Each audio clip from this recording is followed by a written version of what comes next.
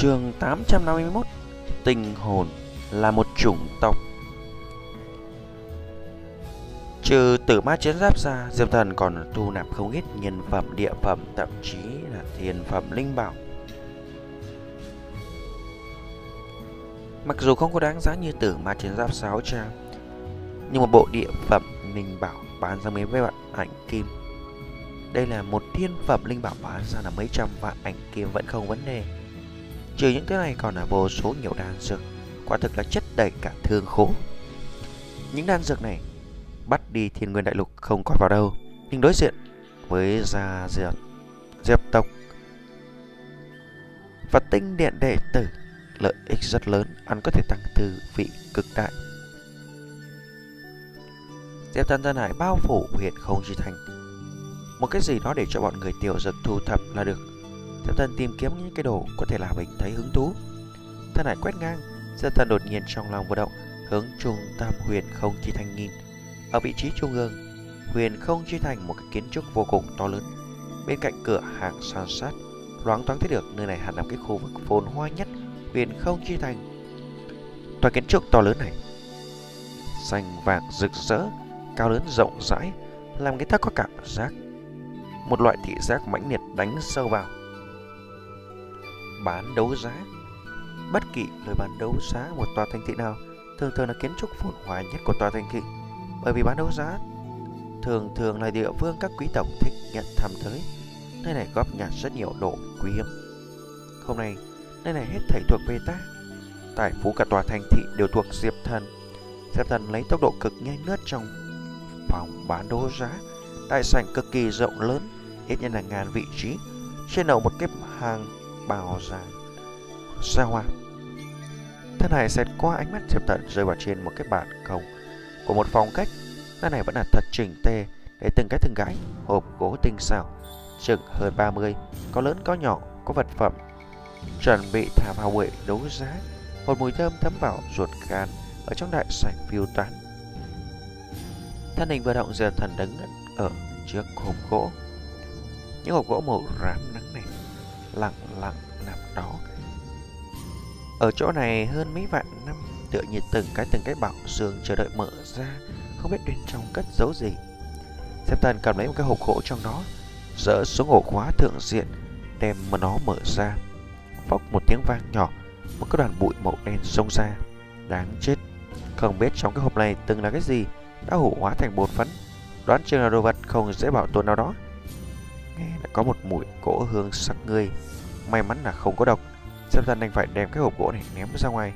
Cầm cái hộp thứ hai. Hộp này khá lớn. Phải là hai tay mới có thể ôm. Sâm Thần cầm thận mở lắp hộp. Hướng mặt nhìn lại, chỉ thấy trong hộp thình lình đặt chiến giáp trọn vẹn. Bộ chiến giáp này xem ra là nguyên vốn, phải là màu bạc. Nhưng là để ở chỗ này mấy vạn năm thời gian, nhan sắc chiến giáp chiến giáp trở nên ảm đạm hơn nhiều. Diệp thần thò tay sờ trên mặt ngoài chiến giáp, xúc tu lạnh buốt, tính chất cứng rắn, thượng diện điều khắc lấy một cái loại trận ấn thần bí, một cỗ tàng thương chi khí, cổ sượt đập vào mặt, có thể xác định đây không phải là tự ma chiến giáp, nhưng lại không biết chiến giáp gì, thượng diện còn giữ từng đạo vết kiếm, có thể thấy được chủ nhân chiến giáp từng là thần kinh bách chiến. Diệp Thần cảm giác được bộ chiến giáp này lộ ra khí tức hơn so với cả nhân phẩm tự ma chiến giáp. Không biết có thể đem bộ chiến giáp này nhận chủ hay không. Diệp Thần vạch phá ngón tay, đem mấy giọt máu tươi trích lên, chỉ thấy máu tươi rơi xuống chiến giáp, từ một tiếng, lập tức biến thành huyết vụ tiêu tán, không có trên chiến giáp lưu lại bất cứ dấu vết. Diệp Thần cũng là không có cảm giác được bộ chiến giáp này có bất kỳ dấu hiệu nhận chủ.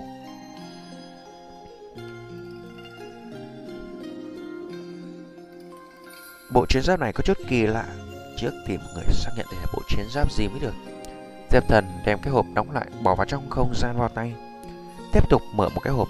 Diệp thần lục tục lấy được ba bộ nhân phẩm tự ma chiến giáp. Còn có một chút đan dược, Hồn ngọc tinh tủy Coi như không tệ, Nhưng mà không có đồ vật đặc biệt gì Để nghe cho người ta động tâm. Cuối cùng còn thể lại là hai cái hộp gỗ không có mở. Hai cái hộp gỗ phía trước, Hẳn là tứ tốt của bán đấu giá nhất xuất hiện lần đầu, mà hai cái mặt sau hẳn là bảo vật áp dụng Mở ra cái hộp nhỏ nhất trong đó, nhìn đồ vật bên trong Diệp Thần sửng sốt, Trong hộp này lặng lặng một cái quả trái cây. Trái cây này toàn thân màu hồng phấn Óng ánh sáng long lanh Tựa như ngọc thạch tạo hình mà thành. Như là tùy thời là muốn nhỏ ra giọt nước. Một cái mùi thơm nồng đậm sông vào mũi. Cả phòng khách chuyển tới mùi thơm nhẹ nhạt. Đúng là trái cây này phát ra. Mấy bạn làm qua đi Trái cây vẫn y nguyên là vừa vặn Như mới tháo xuống. Tơi mới ướt át quả Quả hương tứ phía.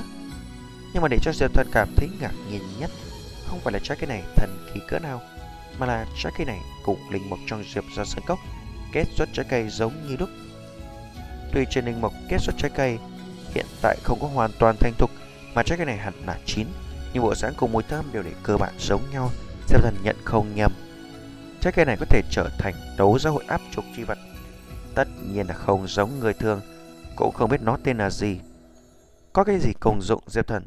Tuy điều tra rất nhiều tư liệu, Nhưng nghi nguyên không biết cái gốc linh mộc trong Diệp ra sân cốc Rốt cuộc là loại cây gì? Xem ra gốc linh mộc kia là lịch thần bí Phiện siêu hơn mình tưởng tượng. Diệp Thần đem trái cây cẩn thận thu vào, Chuẩn bị tìm người hảo hảo hỏi một phen. Diệp Thần nhìn về phía hộp gỗ cuối cùng kia. Không biết trong hộp gỗ này có vật gì. Nhẹ nhàng thở một hơi Đem nắp tập Đem nắp hộp mở ra. Một cái là bàn mài rùa xuất hiện trong tầm mắt Diệp Thần. Cái là bàn này, Bốn phía khắc đầy các loại ký hiệu thần bí. Trung ương là một cái cây kim đồng hồ trôi lội bất định. Có thể nhìn ra thứ này là phi thường cổ xưa. Hướng mặt la bàn nhìn lại Mơ hồ có thể chứng kiến Cái kia vô cùng lốm đa lốm đốm tựa như là tinh không mênh mông. Không biết cái la bàn này dùng để làm gì? Chắc lẽ dùng xem bói Cảm giác trên la bàn, Một cái cỗ lực lượng thần bí mênh mông truyền ra. Diệp Tân có cảm giác. Vật ấy sợ là so với chấn tiên địch còn cường hãn hơn. Lúc trước thời điểm mới dẫn động chấn tiên địch, Chấn tiên địch thiếu chút đã đem hồn địa mình hút vào. Diệp Thần không dám tùy tiện động cái la bàn này. Vẫn đặt trước trả rõ la bàn này làm được gì rồi nói sau.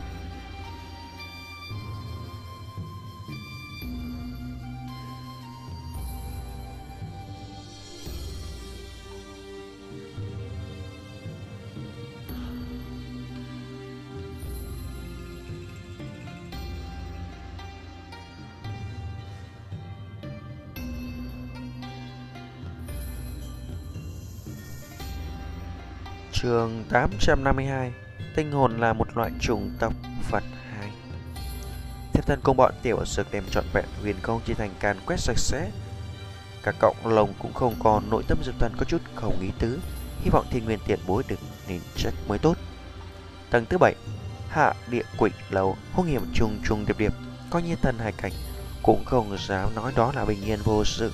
Diệp thần quyết định tạm thời không tiến vào. Này về sau tăng tu vị rồi lại tới. Lần này thu hoạch đồ tương đối khá. Chỉ là 8 bộ nhân phẩm tương mắt chiến giáp Ai làm diệp thần phấn chân công tôi Hắn lần này chính là vì chúng mà tới. Về phần bộ chiến giáp không biết tên kia, Linh mộc trái cây còn cái la bàn Thì là liềm vui ngoài ý muốn. Tạm thời trước để đó. Đây về sau có cơ hội nhận được cậu dụng thì hắn sẽ nói. Ngay khi bọn diệp thần chuẩn bị rời đi, Một cái thanh âm chậm thấp tang thương vàng Là thiên nguyên tiền bối thì mẫu tinh bản trong tay người chính là một trong những thiên nguyên tinh lục đại tinh hồn đạo khí. Và đấy ngươi nhất định phải là cực kỳ đảm bảo, quả quyết không thể để cho hắn rơi vào tay tổ ma chi thủ. Thanh âm thiên nguyên tiền bối truyền vào lỗ tai diệp thần, ngữ khí nghiêm khắc trước này chưa từng có. Tinh hồn đạo khí. Đúng vậy, tại thiên nguyên đại lục, phía trên linh bảo chính là đạo khí. Đạo khí chia làm cửu phẩm, như là bảo châu trấn thiên địch các loại chi bảo trong tay người cũng thuộc về đạo khí. Bất quá chúng là thuộc về đạo khí có thể phát triển, có phương pháp thích hợp nên là tăng lên phẩm cấp. Đạo khí tổn thế cực ít, giá cả là cực kỳ đắt đỏ. Thiên Nguyên tiền bối, ngừng chỉ trong chốc lát rồi lại nói, đạo khí cường đại nhất chính là tịnh hồn đạo khí, toàn bộ thiên nhiên đại lục chỉ là vẹn vẹn 6 kiện. Tỷ mẫu tinh bản trong tay người có thể tính toán thiên cơ, coi như là ta cũng khó có thể dòm xem hắn huy nào. Lúc trước, vì phòng ngừa nó rơi vào tay tổ ma, ta mới thúc giục hạ địa quỳnh lâu, đem tòa tinh thành này thù tới, dùng thực lực của ngươi trước mắt còn không có thể đem nó thúc giục. Là bà này lợi hại như thế. Ngay cả thiên nguyên thần bối cũng không thể dòm thấu ảo diệu trong đó. Diệp thần âm phẩm kinh hãi không thôi không biết la bàn này là người phương nào chế tạo. Thiên nguyên tiền bối, Tổ mà rốt cuộc là vật gì Nói tới tổ mà cảm xúc thiên nguyên giống như là chấn động ngừng trong một chốc rồi nói, Tổ ma, cũng gọi là thiên ma, là ngoại vực chủng tộc, Chúng dùng thôn phệ tinh hồn mà sống, Là tinh hồn tử địch Ở bên trong tình vũ mênh mông, Có một chủng tộc gọi là tinh hồn Tinh hồn là một chủng tộc Diệp thần sự sốt Đúng vậy, tất cả mọi người cho rằng tinh hồn không có tính mạng, chỉ có cấp bậc tinh chủ mới có thể chứng chính thức minh bạch. Tinh hồn là một chủng tộc, hơn nữa một chủng tộc. Sơ nhất chính là mẫu tộc của chúng ta, là chúng sáng tạo ra chúng ta. Trong vũ trụ mênh mông, chỉ có một bộ phận tinh thể cực nhỏ có thể sinh ra đời tinh hồn. Thời điểm tinh hồn sinh ra đời, liền là tồn tại trí tuệ cùng ý thức. Bản thân của chúng không có bất kỳ chiến lực mà bên trong tình vũ lại có địch nhân của chúng là tổ ma tồn tại. Vì đối kháng tổ ma, chúng liền đã bắt đầu sáng tạo ánh mạng trí tuệ.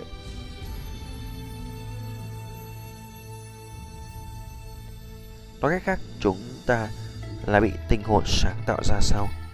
Nội tâm diệp thần rung động, người này tinh hồn đúng là người sáng tạo tất cả sinh mạng có thể có trí tuệ chúng biến mất vô tùng vô tích lại là không có chỗ nào không có khống chế lấy vận mệnh tất cả mọi người trên tinh cầu. Không sai, chúng là chúa sáng thế của chúng ta. Chúng sáng tạo ra tính mạng trí tuệ, chính là vì đối kháng tổ ma. Một khi chúng bị cắn nuốt, tính mạng trí tuệ của chúng sáng tạo sẽ nhạt đi. Chỉ có thể dùng tinh hồn dung hợp chúng ta mới có thể đem thiên phú vô cùng cao mình đạt được thực lực cương đại. Vì sinh tồn, ta là cũng phải đối kháng. Những tổ ma tới từ chỗ sâu trong tinh không kia. Diệp Thần có chút minh bạch vì cái gì trên chút tinh thể thích hợp sinh mạng theo thể ở lại lại không có thể sinh ra bất luận sinh mạng thể trí tuệ. Bởi vì bên trong những cái tinh thể đó còn không có sinh ra tinh hồn, chỉ có tinh hồn sinh ra đời tinh hồn. Mới sẽ là xuất hiện tính mạng trí tuệ tỳ mẫu bàn này chính là thiên nguyên tinh tinh hồn luyện chế ngay cả ta thời kỳ đỉnh phong cũng chỉ có thể phát huy một phần vạn uy lực. Có thể thúc giục hay không để xem vận mệnh của ngươi. Xem ra người đã tới thiên nguyên đại lục, đã biết một chút sự tình. Tinh hồn dung hợp độ của người là bao nhiêu? Thiên nguyên hỏi. Bằng không. Xếp thần thành thật trả lời. Tinh hồn dung hợp là không. Sao lại có thể như vậy? Thiên nguyên thì tao nói. Hẳn người không phải là người chọn lựa cho tinh chủ, Cái kia sẽ là ai chứ? Tinh hồn dung hợp là không, Là tuyệt đối không có khả năng thành tinh chủ vì hoàn toàn không có cách nào thuyền chuyển lực lượng tinh hồn. Lội tâm diệu thần khẽ động. Nguyên này thì nguyên tiền bối lập cho mình là người được lựa chọn kế tiếp tinh chủ. Xem ra mình lại để cho hắn thất vọng. Cũng thế Ta cảm giác được người tu luyện công pháp có chút đặc thù hơn nữa, Người lập ra phi đạo kia cũng là một vị đại năng. Khả năng ngươi không cần thuyền chuyển lực lượng tinh hồn cũng có thể trở thành một các khương gia về sau này, có bao nhiêu thành tựu toàn bộ chính bằng ngươi? Thanh âm thiên nguyên dần dần phiêu miểu đi xa. Thiên nguyên thiền bối, xin đợi một chút. Sẽ thần còn muốn hỏi một chút chiến giáp cùng linh mục trái cây trong tay là vật gì? Thanh âm thiên nguyên cũng là trừ khử vô tung. Thiên nguyên tiền bối, thật đúng là thật lòng. Thấy đầu không thấy đuôi sẽ thần ngắm nhìn tứ phía xung quanh hắc ám trống trải bao la bát ngát. Bên trong bóng tối, Diệp Thân phảng phất cảm giác được đôi mắt đang là nhìn mình chăm chú, không phải thiên nguyên tiền bối mà là tình hồn theo lời tiên nguyên tiền bối. Cũng có khả năng ảo sắc của mình. Diệp Thân nghĩ tới khả năng đối với tinh hồn nhất tộc mà nói, nhân loại yêu thú huyền thú bất quá là chúng sáng lập đi ra. Đối với nhân loại yêu thú huyền thú những cái tính mạng trí tuệ này, chúng là chúa sáng thế, trí cao vô thượng.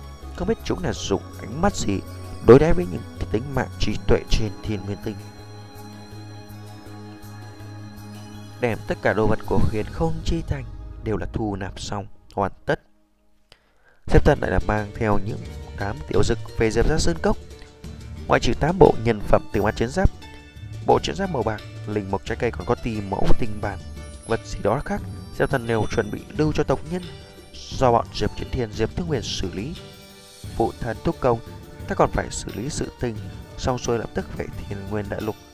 Diệp Thần có chút không bỏ nói, trên vai trách nhiệm hắn quá nặng, hắn phải nắm chặt thời gian.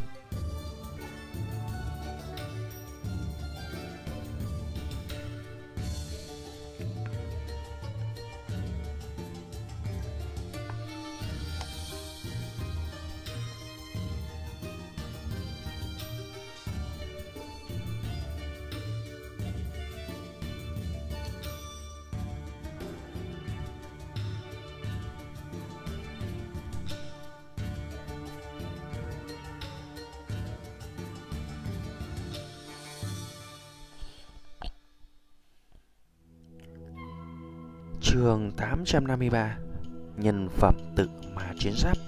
Phần 1 Vội vã trở về như vậy, Diệp Chiến Thiên kinh ngạc, Toát ra một cái tia thương cảm. Bất quá hắn minh bạch trên người Diệp Thần Gánh chịu trách nhiệm, Thời gian cấp bách hắn dặn dò. Đi ra bên ngoài, người nhất định phải là coi chừng. Ta minh bạch, Diệp Thần nhẹ gật đầu cùng với tộc nhân từng cái tạm biệt thận sắc kiên định. Ta nhất định đem các người tất cả dẫn độ qua. Diệp Thần bay lên trời thì bọn đám Diệp Chiến Thiên Diệp Thương Nguyên tiểu dực nhất khối ở trong Diệp ra Sơn Cốc hướng phía Diệp Thần không ngừng vẫy tay từ biệt cho đến khi Diệp Thần biến mất tại phía chân trời xa xôi. Diệp Thần hít sâu một hơi nhìn về phía xa, đôi mắt hiện lên một tia kiên quyết. Bất kể thế nào hắn là phải cải biến vận mệnh tộc nhân, tuyệt đối không để cho bọn chúng không công mà chết. Hướng phương hướng, Thiên Nguyên Đại Lục nhìn qua Ngoại trừ dẫn độ tộc nhân ra, Muốn ở cái thế giới này sinh tồn Nhất định phải tồn tại đỉnh cao nhất của thế giới này. Thân này của Diệp Thần mới động cảm ứng một cái tia tin tức, Là nghe bài tiền bối ở phương xa chuyện tin cho hắn. Diệp Thần, Người nhanh như vậy là liền từ thiên nguyên đại lục xa Nghe mãi có chút kinh ngạc, Từ thiên nguyên đại lục xa ngoài. Một chuyến là phải tiêu hết ngàn vạn ảnh kim, Qua lại là hai ngàn vạn. Diệp Thần không có bị chiến bộ lấy đi, cũng không gia nhập bất kỳ quý tộc thủ hạ. Sao như vậy, ở thiên nguyên đại lục kiếm được nhiều tiền như thế? Giống như nghiêm hải, thập trọng thân này là vì đạo đinh làm việc vài chục năm nay từ bản tăng lên cũng bất quá là mười mấy vạn ảnh kim. Dĩ nhiên trong khoảng thời gian này, hắn ở Đông Đại Lục tới không ít thứ tốt. Trở về Thiên Nguyên Đại Lục đoán không chừng đã bán được năm sáu trăm vạn ảnh kim, nhưng cũng chỉ có thể thế mà thôi. Ừ, ta là làm một ít chuyện lập tức phải về. Diệp Thần nói, phương hướng hắn vụt bay là cực bắc bằng hải. Xem ra người ở thiên nguyên đại lục cũng như là cá gặp nước. Nghe mày có chút cảm khái. Diệp Thần kết quả khảo nghiệm tinh hồn dung hợp là không. Hắn tưởng rằng Diệp Thần là muốn ở Yên Vân Thánh Thành, tâm thương cả đời. Nghĩ không tới mấy ngăn ngủi. Mấy ngày, Diệp Thần đã là hòa đồng phong sinh khởi thủy. Tất cả ra vào thiên nguyên đại lục 2.000 vạn ảnh kim cũng chỉ là dễ dàng trả. Đây hết thảy phải là tạ ơn nghiêm hải tiên bối. Diệp thần thanh khẩn nói, nghiêm hải giúp hắn chiếu cố không ít. Những thứ khác không nói, chỉ là kích hoạt lực lượng lĩnh vực quán, giúp hắn bước vào linh vọng cảnh chính là trợ giúp thật lớn.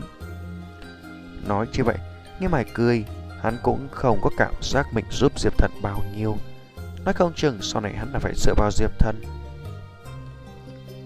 Vùng địa cực băng hải, hải vực lơi đông băng thành một cái khối băng cứng khổng lồ vạn năm không phá. Ở bên dưới băng cứng khổng lồ này, nổi lơ lửng từng cái ngọn băng sơn.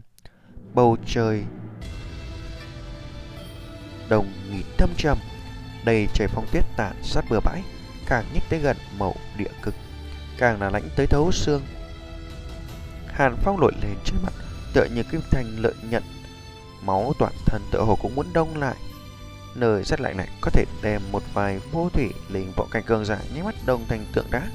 Ngay cả thân hải cảnh cường giả cũng không nhất định dám vào nơi đây, bởi vì nhiệt độ nơi này thực sự quá thấp. Diệp thần đẩy lấy phong tuyết toàn được vận chuyển bằng huyền quyết, đem hàn khí đáng sợ chuyển hóa thành huyền khí trong cơ thể. Lúc này mới cảm giác khá hơn một chút. Trình độ rét lạnh nơi này so sánh với biển sâu của Thương Hải Tinh hơi kém một chút, Diệp Thần miễn cưỡng có thể chấp nhận. Diệp Thần Tân Hải ở chỗ sâu của địa cực thăm dò vào, Hắn là sưu tầm vị trí của tinh thần hạch tâm khổng lồ kia. Theo lời đạn đại lăng, khối tinh thần hạch tâm đã bị băng phong trong cái tầng băng. Muốn tìm được cùng đau được nó vẫn là khó khăn nhất định. Càng đi về phía trước càng là giá lạnh. Toàn thân Diệp Thần cũng bị băng tuyết bao trùm, đầu tóc, đuôi lông mày rũ xuống từng mạnh băng lãnh. Diệp Thần dần dần cảm thấy có chút không cách nào chống đỡ. Đoán chừng ngay cả thần hải thập trọng nghiêm mại cũng không dám tới đây. Nếu không phải là vận chuyển bằng huyện quyết giúp Diệp Thần ngăn cản phần lớn rét lạnh, Diệp Thần chỉ sợ sớm thành một cây cây bằng cột hình người. Diệp Thần tiêu tử ta tìm thấy được chỗ của nó rồi. Đi phía trước 2.000 thước ở chỗ sâu vùng địa cực trong vạn năm huyền băng, thanh âm sư già có chút ngồng trọng nói. Diệp Thần theo sư gia chỉ thị thân hải nào tới chỗ sâu trong vùng địa vực. Diệp Thần nguyên tưởng rằng địa phương hối tình thần hạch tâm kia rớt xuống cũng không quá sâu. Cho nên Tân Hải chỉ ở tầng ngoài tiếng toi, nghĩ không tới tinh thần hạch tâm kia rơi xuống địa phương sâu như vậy, dưới vạn thước. Cũng không biết là làm sao rơi vào à. Diệp tần không biết là tinh thần hạch tâm có một loại đặc tính có thể hỏa tan bằng cứng xung quanh, coi như là vạn nằm huyện bằng đụng bài tinh thần hạch tâm phóng ra tinh thần lực, cũng là từ từ hòa tan, rời đổi theo thời gian. Tinh thần hạch tâm này nện vào vạn thước dưới tầng băng, phía trên là bao trùm lên băng cứng. Thế lại rốt cuộc là tiện thấy chỗ của nó Thời điểm Diệp Thần thấy nó rõ ràng, không khỏi cũng là hút một hơi lãnh khí. Một khối tinh thần hạch tâm lớn như vậy sợ rằng nặng mấy tấn à. Diệp Thần rung động vô cùng.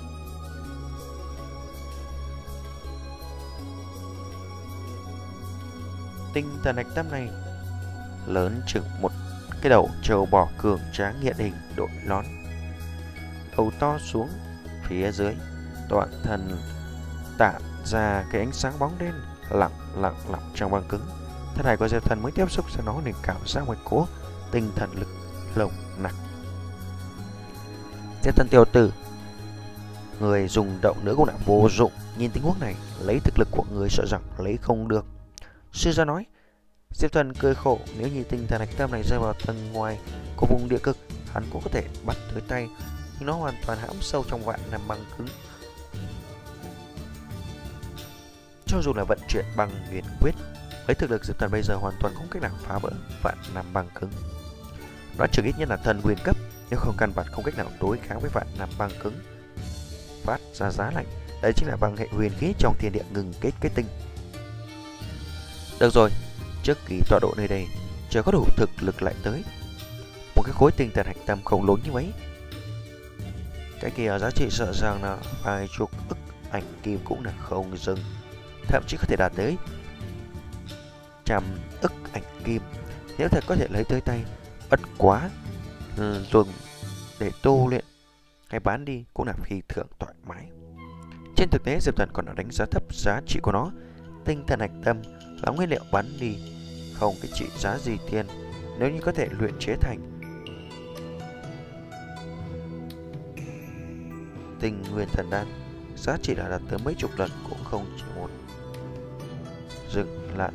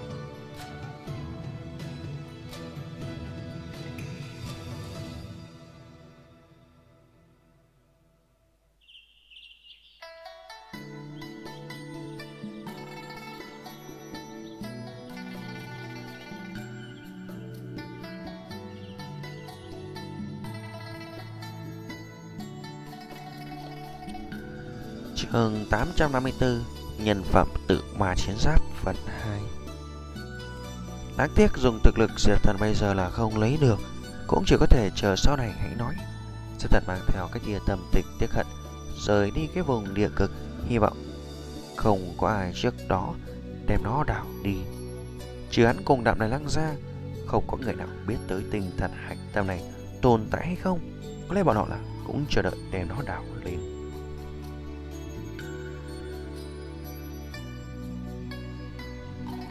Lòng Diệp Thần không khỏi một cái tia cấp bách, Nếu như bị người khác đào, đắc thủ trước, Đây tuyệt đối là một cái tổn thất thật lớn. Bắt đầu thời điểm khối tinh thần hạch tâm này rơi xuống, Các cường giả đông đại lục hẳn là cũng cảm ứng được. Cầu đà cùng không yên sơn có thể cũng biết. Về phần Nam Công Trạch, không biết tại sao Diệp Thần có trực giác, Nam Công Trạch không để ý cái khối tinh thần hạch tâm. Lấy thiên phú của Nam Công Trạch Đến chiến bộ trên cơ bản này, Muốn gì là có đó. Tinh thần hạch tâm này đối với hắn mà nói, Hắn không coi vào đâu còn có cường giả mấy cái đại lục khác hẳn cũng có người biết. Nhất định là phải đuổi trước mọi người tu luyện tới thần huyền cảnh, Bắt được tinh thần hạch tâm này. Diệp thần, Không chỉ nó chuẩn bị đem vị trí tinh thần hạch tâm nói cho nghiêm hải Nghiêm hải chính mình đã khẳng định lấy không được tinh thần hạch tâm. Vạn nhất hắn đem vị trí tinh thần hạch tâm báo cáo cho đạo đình, Diệp thần chỉ có thể chờ khóc. Dù sao nghiêm hải là người đạo đình, Mỗi người là có lập trường riêng. Ra khỏi vùng địa cực Thiếp thân truyền lại cho Nghiêm Hải một cái tin tức. Nghiêm Hải tiền bối, Ta muốn trở về thiền nguyên đại lục. Các tộc tình của ta mong là Nghiêm Hải tiền bối chiếu cố nhiều hơn. Thiếp thân khách khí nói, Lòng thầm nghĩ, Lần sau lúc đi xa Hắn đã cho Nghiêm Hải chút lễ vật coi như là tỏ một cái Chút cũng tốt. Không thành vấn đề. Nếu như bên này phát sinh chuyện gì, Ta cũng là không tiện xuất thủ. Và nói, sẽ là thông báo cho ngươi. Nghe vậy đà tạ cười một tiếng. Đà tạ tiền bối. Diệp thần vừa nói xong Hướng phía thiên nguyên đại lục bay vút. Ở bên ngoài Cũng là hai ba ngày công vô Diệp thần lần nữa trở về Yên Vân Tánh Thành. Một vào một ra. Tiêu hết quán hai ngàn vạn ảnh kim. Bất quá so sánh với thu hoạch mà nói Lại không phải tính là gì. Phải biết rằng một cái bộ nhân phẩm từ ba chiến giáp Giá trị là 2, 3 Thì người đại lục tử hoa thần triều thiên Vân Thánh Thành vẫn là bình thường bình bình Nhưng so sánh trước đây là thế cục có biến hóa vô cùng lớn. Bởi vì đối ngoại mượn tiền giúp rất nhiều Bình dân Tân Hải thoát cảnh nghèo khó Diệp Thần Cố Lan trong bình dân uy vọng lên cực nhanh. Cố Lan lập tức thành lập tổ chức hấp thu hơn 600 tên Tân Hải phó giả. Những cái Tân Hải phó sản này thỉnh thoảng tự do tổ chức toàn thể ra vào tiểu thiên nguyên giới, dẫn theo đồng bọn quán. Trên căn bản đã chiếm lĩnh tiểu thiên nguyên giới của Yên Vân Thánh Thành. Trước kia, trong tiền lời của tiểu thiên nguyên thành, tiểu tiên nguyên giới, lúc đầu quý tộc chiếm cứ 9 thành trở lên, đột nhiên hiện tại 8 phần trong tiền lời lại thuộc về bình dân sở hữu, còn dư lại một thành rơi vào tay Diệp Thân, Cố Lam, cuối cùng một thành mới là các quý tộc.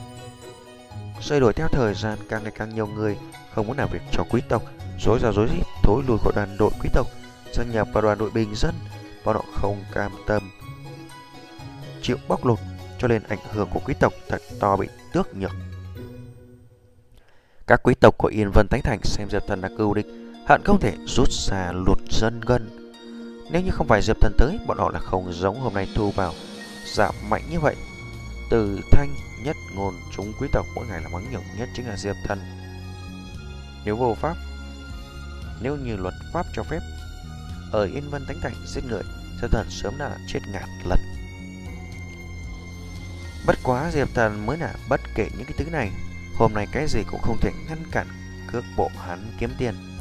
Những ngày qua xuống tới, tiền của Diệp Thần tăng lên gấp đôi, đã đến một ức hai ngàn vạn ảnh kim Tốc độ kiếm tiền có thể nói là kinh người. Kế tiếp, cái cầu tuyết này chỉ cần càng lan càng lớn, doanh thu càng ngày càng nhiều. Diệp Thần, sau này người ra vào nơi đây chú ý nhiều một điểm, nơi này nhãn tuyến rất nhiều.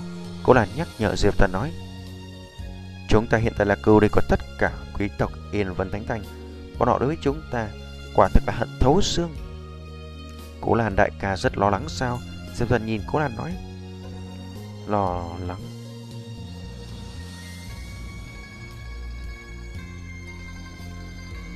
Mới không lo lắng đi anh.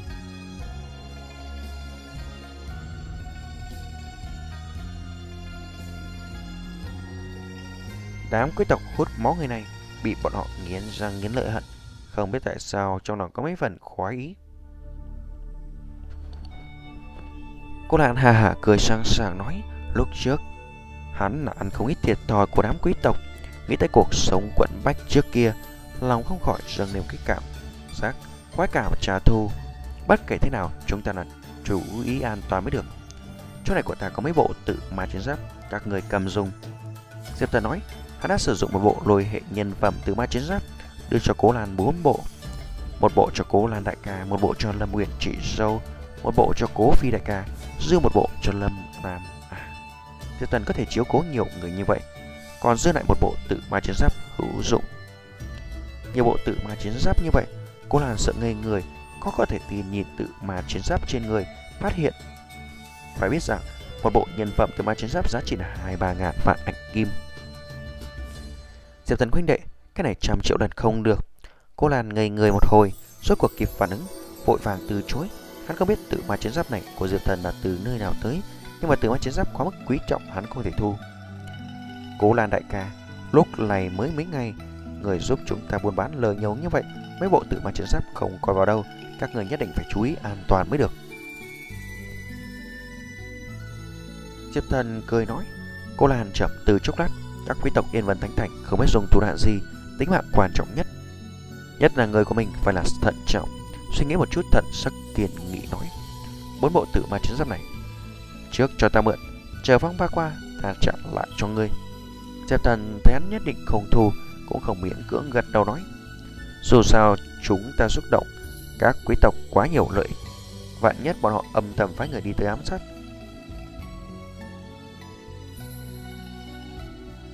cho gọc đá cụng vỡ, chúng ta không thể không phong. Thần huyền cấp bậc bình thường ở Yên Vân Thánh Thành còn như quý tộc sẽ không đích thân động thủ. Hoán trường cũng chỉ có phần thần hải cảnh tới, có nhân phần tự mà chiến giáp có thể bảo vệ tính mạng không ngại.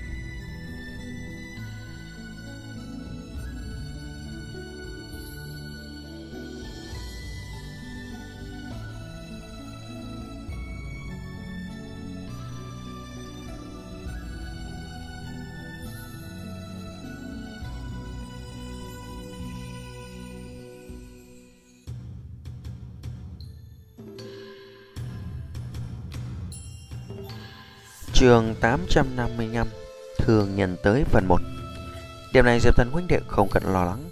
Đào đây nhìn rõ mọi việc, Chấp pháp cực nghiêm. Cả thiên nguyên đại lục rất ít phát sinh chuyện như vậy.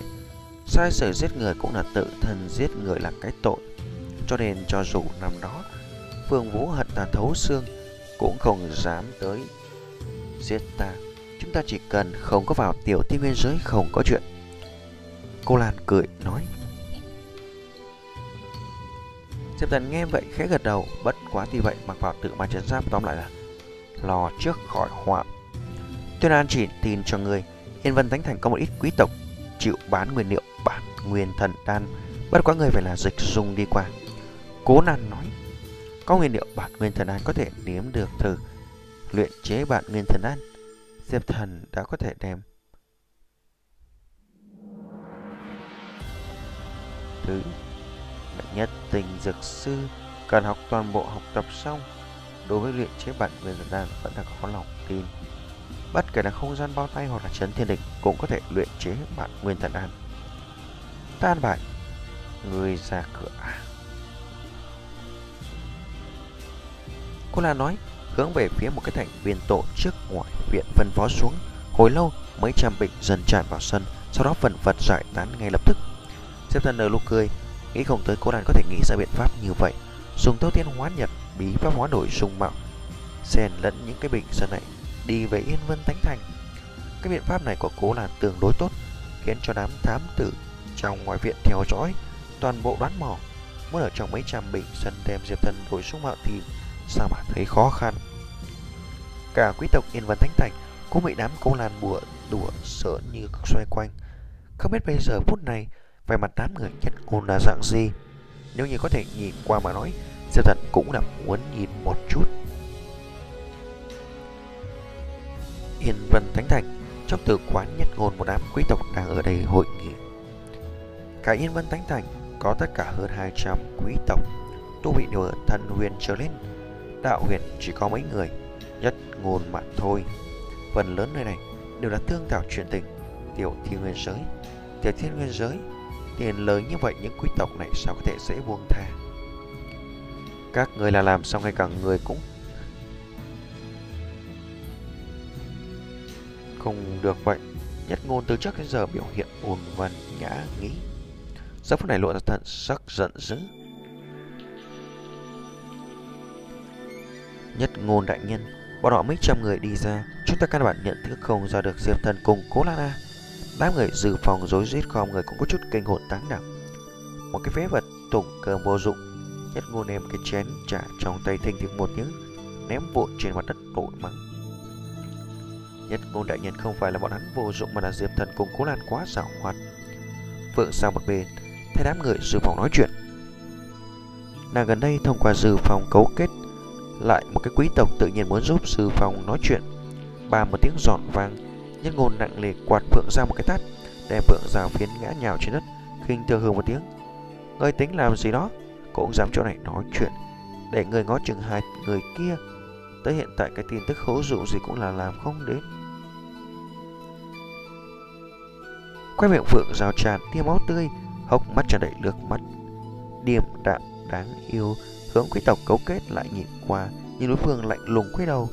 Quay miệng của quý tộc kia cầu ra cái nụ cười lạnh lùng, nói dẫn sao về một cái đồ chơi đắc tội nhất ngôn, hắn đúng là không ngu như vậy. Trong mắt Phượng rào, quang mang ảm đạm, giờ nàng mới hiểu được.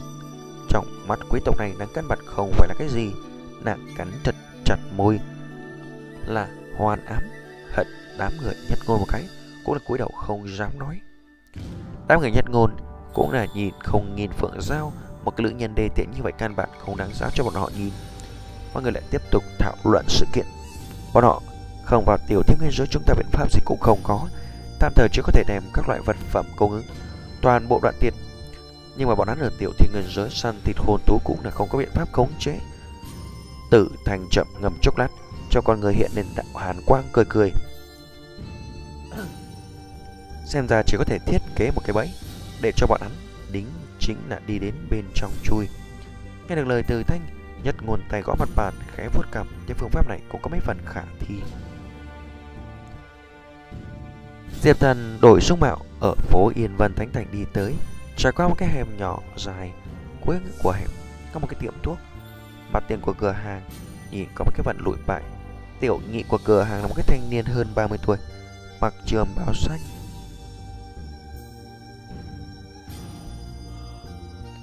Đang là bề bộ đặt dược liệu.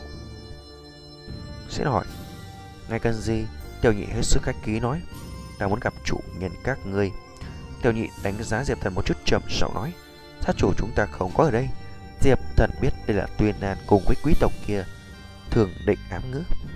Không có ở đây, Mới vừa rồi ta còn chứng kiến hắn, Diệp Thần nói. Ngươi đi theo ta. Tiểu nhị mang Diệp Thần vào phòng, Xuyên qua một cái hành lang hẹp dài, Mở ra một cái cửa phòng, Mời Diệp Thần đi vào. Diệp Thần vừa vào cửa Trước mắt rộng mở trong sáng gian phòng hết sức rộng rãi Làm cái phòng tiếp khách Bố trí xanh vàng rực rỡ Quả thực là một cung điện Rất khó có thể tưởng tượng tiệm thuốc bên ngoài lụi bại như thế Bên trong lại có một động thiên khác sau khi tiểu nhị mang Diệp Thần đi vào, liền là đi đem đóng cửa lại. Trên thủ vị phòng tiếp khách, ngồi một cái trung niên nhân quần áo đắt tiền, hai chân đàn chéo bụng. Mười phần thú vị đánh giá Diệp Thần. Diệp Thần không có kiêng kỵ chút nào, đánh giá những người trước mắt. Người trung niên này đại khái cũng là đổi qua dung mạo, lớn lên hết sức bình thường, thuộc về đặt trong đám người thì tìm cũng không ra. Chẳng qua là đôi mắt lộ ra có chút khôn khéo. Thần thái cơ trí làm người ta có cảm giác sàn thương. Người chính là người tuyên án kia giới thiệu sao. Người trung niên nhân cười híp mắt nói cũng không mời Diệp Thần ngồi xuống. Chính xác, Diệp Thần gật đầu từ thái thòng dòng, tự mình đi tới một cái ghế ngồi phòng tiếp khách. kẻ hèn, tiền lai, trung niên nhân mắt thú vị, cũng là sâu sắc thiếu A tiểu Tên họ chỉ là danh hiệu. Ta liền không thông báo. Diệp Thần cũng chỉ là dày là lũ cười nói.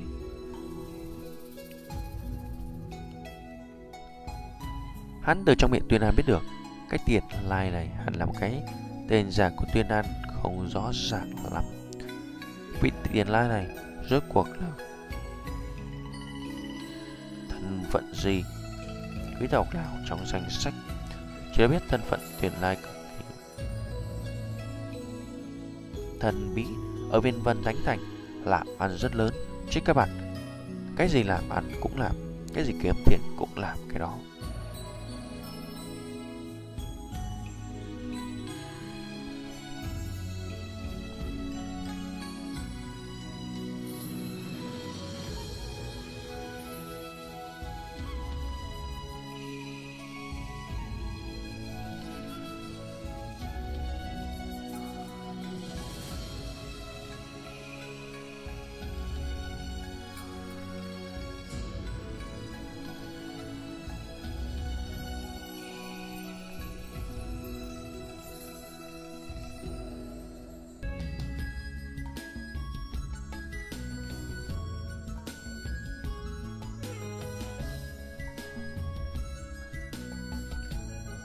Chương 856 Thường nhìn tới phần 2 Tiền ai ở Yên Vân Thánh Thành thế lực rất lớn, Nhiều tiền không hợp thói thường, Những địa phương khác mua không được đồ, Ở đây hắn có thể mua được.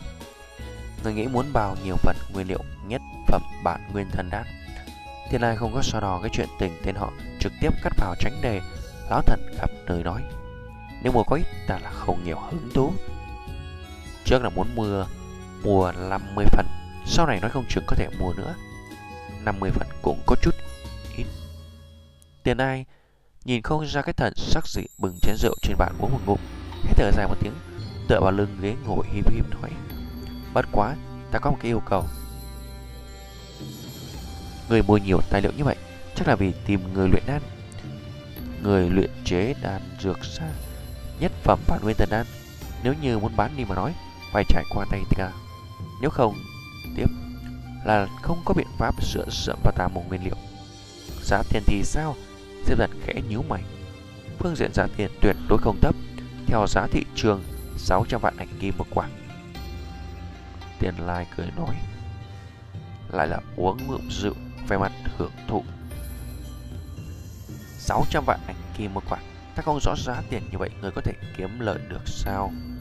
Thế nên có chút nghi hoặc, muốn tưởng rằng phương diện giá tiền bị chèn ép Nghĩ không tới dựa theo giá thị trường, Không khỏi tò mò nhiều hơn một cái. À Người đây là liền không cần lo lắng.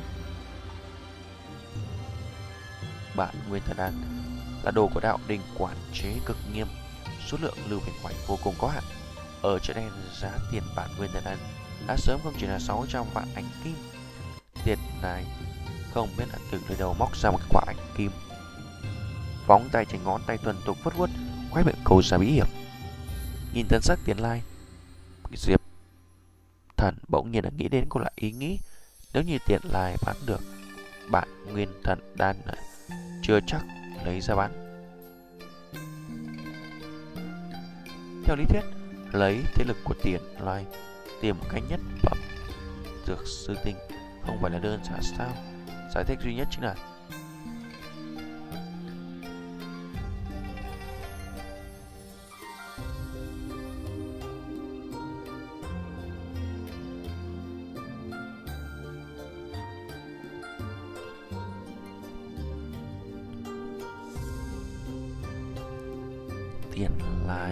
là cần một cái số lượng bản nguyên thần hạt vô cùng lớn. Đã như vậy đồng ý, Diệp Thần nói, bất kể là tiền lai mua bản nguyên thần hạt của hắn làm cái gì, chỉ cần tiền lai cho giá tiền hợp lý, hắn cũng không có đạo lý không bán. Giao dịch đạt thành, tiền lai uống một cái ngụm rượu trong chén bỗng nhiên cười sai nói.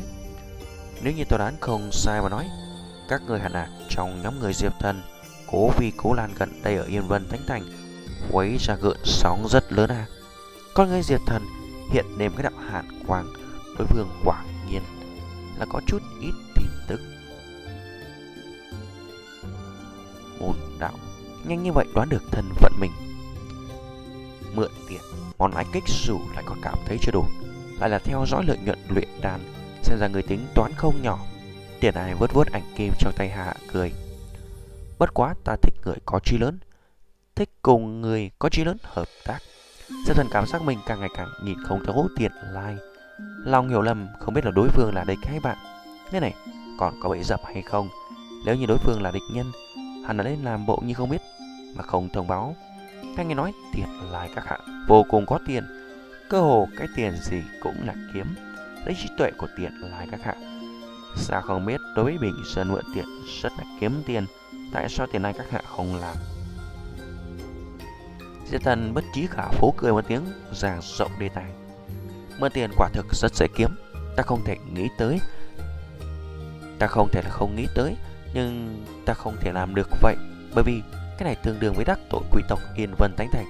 Rất dễ ở Yên Vân Thánh Thành không đạt được chỗ đặt chân, thậm chí các quý tộc những thành thị khác cũng là cừu địch. Thì ra tiền này các hạ là có chuyện không dám làm. Đó là tự nhiên, ta cùng các người bắt đầu ta cũng không thiếu số tiền kia. Môn đạo kiếm tiền ngàn ngàn vạn. Cây thủ quá nhiều, dễ dàng gây cho người ta chú ý. Im lặng phát đặt, chẳng phải tốt hơn sao. Tiền hai mặt lờ nụ cười không đổi, mảnh kim trong tay đinh một tiếng, bị hắn ném giữa không trung, lại vững vàng trở tay hắn của hắn. Diệp Thần có chút hiểu, tiền lại muốn làm cái người tàng hình, phát tài vừa không để cho người khác chú ý, hoặc hẳn là bọn họ Tiền này rất có thể là một cái người được đưa ra trước sân khấu. Sau lưng của hắn còn có một cái tổ chức khổng lồ. Hơn nữa, người vay tiền kiếm tiền, thật là từ trên người của người kiếm tiền chẳng phải là nhanh hơn sao? Hơn nữa, ít nhiều phiền toái. Tiền này càng tăng một câu mặt cười mị mị. Tiền này tên này quả nhiên là một người làm ăn khôn khéo, làm ăn tỏa đáng. Diệp Thần vừa trả 2.000 vạn ảnh kim, mua 50 phần nguyên liệu bản nguyên thần đan Chúng ta có một cái bắt đầu không tệ. Hy vọng sau này có cơ hội hợp tác nhiều hơn. Mắt của Tiện Lai, tinh quang lóe lóe nói. Người tốt cẩn thận một chút. Những quý tộc Yên Vân Thánh Thành kia bắt đầu chuẩn bị đối phó ngươi. Vượng giờ đã bị bọn họ mua. Ta đây sớm đã biết. Nếu như Tiện Lai đoán được thân phận Trần Thần không giấu giếm, Nói thẳng. Xem ra người đã là sớm có chuẩn bị. Tiền ai lụ cười càng sâu, Lòng hắn càng thêm mong đợi. Diệp Tần cùng có thể làm tới trình độ nào? Đệ nhất, bút. Giao dịch thuận lợi, thành công. Diệp từ tiệm thuốc đi ra ngoài, Theo cái hẻm nhỏ dài phía trước tới, Quay đầu lại hướng tiệm thuốc nhìn qua, Lộ chút suy nghĩ sâu xa. Tiến hai này không biết là lai lịch gì, Sau này cùng hắn làm ăn Cũng không thể là không phòng bị. Trong cửa hàng phòng tiếp cách xa hoa, Một người thản nhiên từ ngoài đi tới, Thần sắc rất quen. Người này là thành chủ tề diễn Người đã tới rồi, Tới đây uống một chén.